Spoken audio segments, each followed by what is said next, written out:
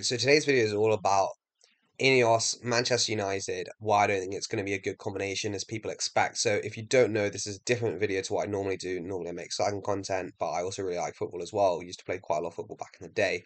Um, proudest achievement, scoring goal against Notts County under 16s. Uh, anyway, so reason why I make this video is because Manchester United have been bought by Ineos They've got 25% of the stake. They're going to take over the football, football and control of Manchester United. And I want to go through why I don't think this is going to make any difference and also why I don't think Ineos are market leaders in sport at all. And this is going to be a case study exclusively done on the cycling team. So, first of all, Ineos Grenadiers' performance so far from 2019, clear aggression. They've got worse. The world rankings actually looked at, they don't they haven't got much worse, but that's because they've recalculated the world rankings where more good riders helps them. So there hasn't actually been a massive change in that.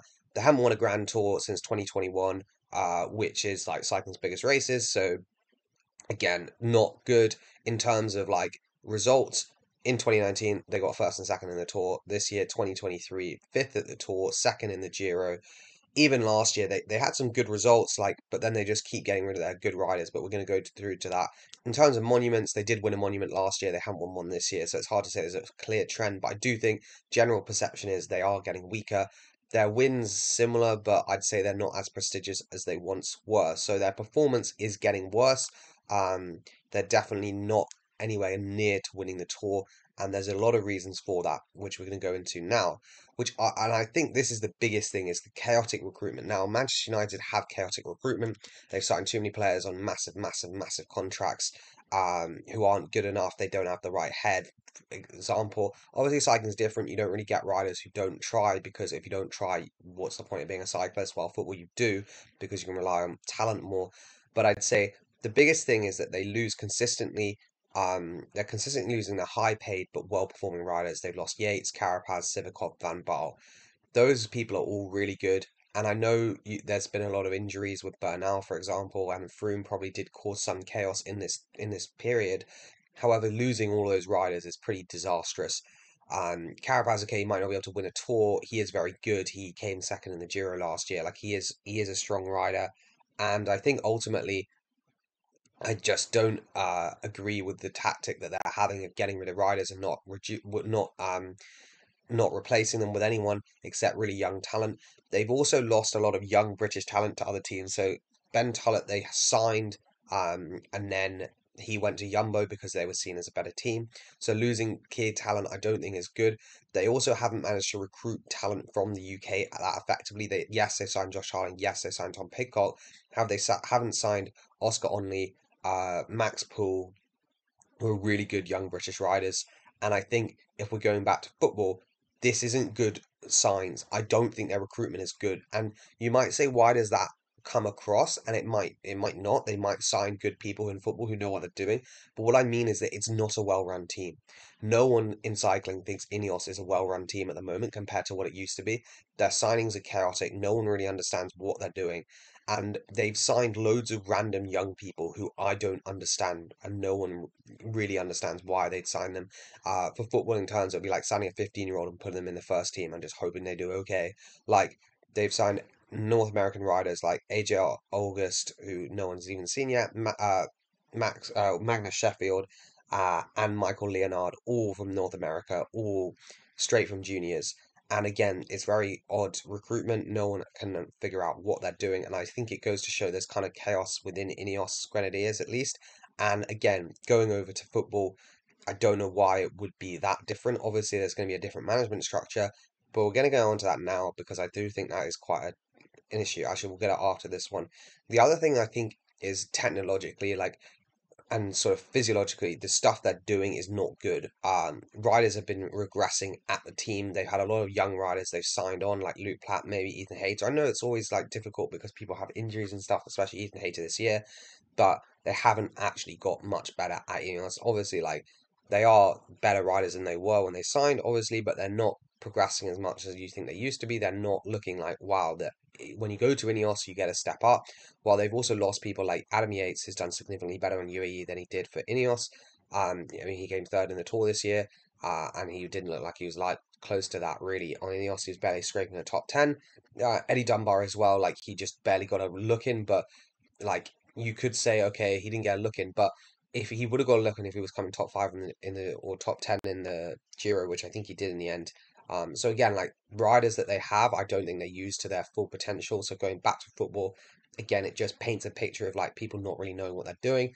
And I think if you're coming into a new environment where they've looked after football clubs before, like Monaco, for example, I do think it really goes to show like this Ineos being a panacea, all things good. I really don't think it's going to be the case. Um, then we're going to go on to chaotic management decisions because Rod Ellingworth left to Bahrain. He then returned, and now, it, like this was quite a long time ago, um, and then he just left Ineos this summer unexpectedly. No one knows why. It's absolute like it's just really odd.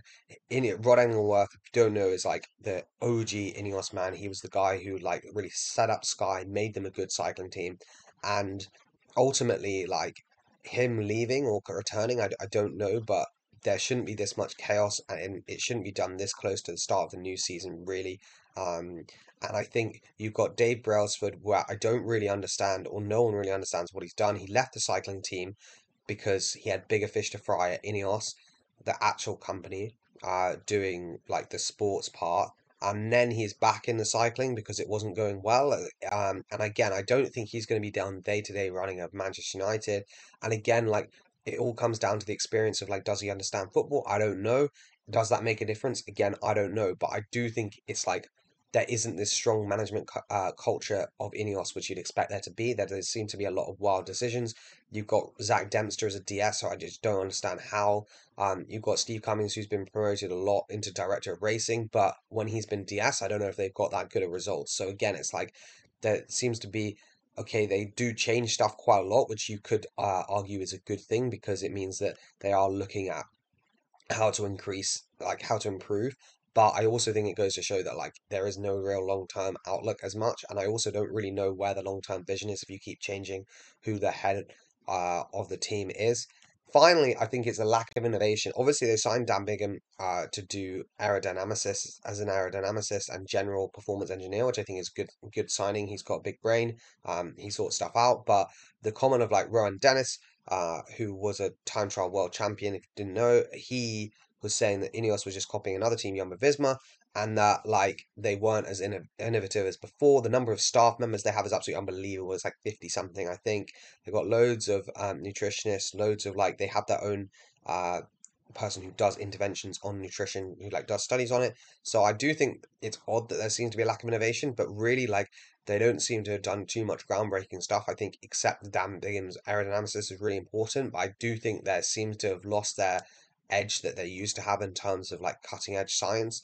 Um, maybe that's other teams stepping up, but again, I don't think that's like you're going to get this Manchester United of oh suddenly they're just scientifically the best team in the world. I don't I don't think that's going to be the case because you don't see it with Ineos that they are a step above everyone else. They might be similar levels to the top teams, which I think they are, but they're not where they used to be, where they were significantly better than everyone else. So I think my point is, what does this actually mean for Manchester United? I think what it means is that people are not going to, it's not going to change as much as people think it is. Ultimately, the money being spent by the Glazers or uh, Jim Ratcliffe, there's a lot of money to be spent. It's all about management. It's all about uh, culture. And my point is, is that in at Ineos Grenadiers, I don't believe that there has been a significant increase in their performances. If anything, there's been a decrease, and I think most people would agree that there's been a um, a downgrade a, de- a decline in their performance since they took over the team in 2019. And I think that as a football, as a Manchester United fan, I wouldn't be that over the moon about it. I think everyone thinks anything but the Glazers, but I think ultimately they're not the best people at running sport, in my opinion. Um, maybe I haven't looked into that other business ventures, but at least in cycling, I don't think they really are anything out of the ordinary. I don't think the way the way they run the team as well is good. You could also argue that they've taken money out of the team, which is why they're not doing as well, and that is a valid point. If the budgets, which no one really knows, have reduced, then that is fair enough, and maybe they're doing quite well. But I think in general, they're not they're not the people that it, they seem to be painted out to be as this super uh, uber slick organization team.